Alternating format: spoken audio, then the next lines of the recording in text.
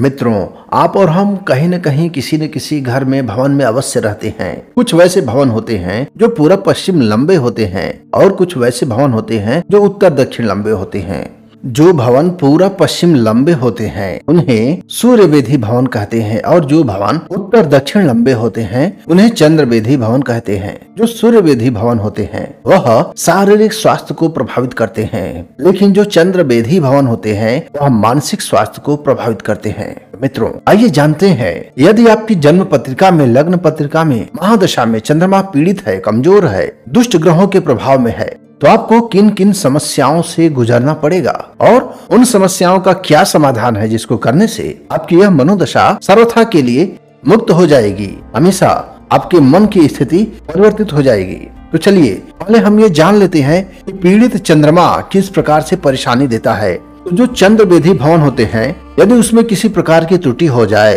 तो हम मानसिक स्वास्थ्य को प्रभावित करते हैं। जैसे कि किसी भी कार्य में मन नहीं लगना मन उदास रहना, सर्वथा उदास रहना या सुस्त रहना, मन के भीतर आलस का भाव उत्पन्न हो जाना। शरीर में मन में चिंता, उलझन, किसी निष्कर्ष पर नहीं पहुँचने की स्थिति व्याप्त हो जाना। मेंटली स्ट्रांग कैसे बने, यह निर्भर करेगा कि आपका चंद्रमा पीड़ित है या फिर आपके लिए अनुकूल है। लेकिन यदि चंद्रमा पीड़ित होता है तो वह मानसिक रोगों को दे देते हैं। जैसे कि किसी भी कार्य में मन न लगना, उदास या सुस्त रहना, आलसी बने रहना, शरीर में, मन में चिंता, उलझन, किसी भी निष्कर्ष पे नहीं पहुँच पाना, बिना किसी कारण के डरना या फिर भयभीत होना, किसी बात की भयानक चिंता करना, शरीर और मन में घबराहट होना, बिना किसी कारण के किसी के ऊपर शक करना, शंकालु स्वभाव का हो जाना किसी कार्य को लेकर के बेचैन हो जाना, धैर्य की कमी होना। नींद नहीं आना या फिर स्वाभाविक नींद में परेशानी का अनुभव करना, सिर दर्द होना, ज़्यादातर समय तक सिर में भारीपन होना कभी कभी आत्महत्या का प्रयास करने के विचार मन के भीतर उत्पन्न होना या आत्महत्या का प्रयास करना।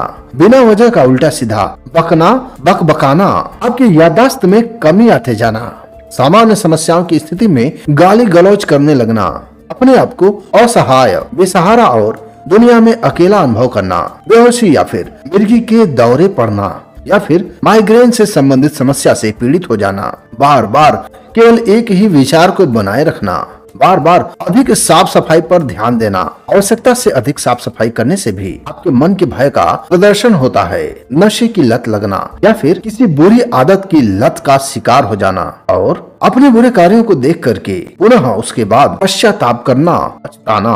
अपने द्वारा किए गए बुरे कर्मों के ऊपर बार बार पश्चाताप होना बार बार किसी एक घटना में या दुर्घटना में फंसे रह जाना, ये सभी चंद्रमा का बुरा प्रभाव है। और साथ ही यह भी बताता है कि राहु का भी बुरा प्रभाव से पीड़ित व्यक्ति हो चुका है। यदि आपके पास इस प्रकार की समस्याएँ हैं बनी हुई तो मैं आपसे निवेदन करता हूँ चंद्रमा को सही करने से संबंधित कार्य अवश्य करिए। यदि आप अपने जीवन में चंद्रमा को सही कर लेते हैं।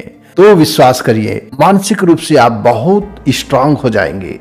जो भी लोग इस दुनिया में मेंटली स्ट्रांग है, वह भारी से भारी विपदाओं से, समस्याओं का निराकरण करने में सफल होते हैं। जीवन में सफल हो जाते हैं, यद्यपि शेयर मार्केट में भी मैंने उन लोगों को बहुत बड़ी सफलता अर्जित करते हुए देखा हुआ है। मेंटली स्ट्रांग यदि आप बनेंगे तो निश्चित रूप से लक्ष्मी आपके पास अवश्य आएँगी। तो मित्रों, यदि आप मेरे इस वीडियो को पहली बार देख रहे हैं, चैनल पे नए हैं, चैनल को सब्सक्राइब कर लीजिए। लाइक, शेयर, कमेंट करना मत भूलिएगा चंद्रमा को कैसे सही करना है। अब इसके ऊपर चर्चा कर लेते हैं। इसके ऊपर मैंने ढेर सारी वीडियो बना रखी है। उसका लिंक ऊपर आई बटन पे दे दिया हूँ। नीचे डिस्क्रिप्शन बॉक्स में देख लेना। अपनी पूरी टीम की तरफ़ से मैं आपको पुनः हृदय की अनंत गहराइयों से स्वागत करता हूँ, वंदन और अभिनंदन करता हूँ। सादर प्रणाम, स्वीकार करें, महादेव कल्याण करें।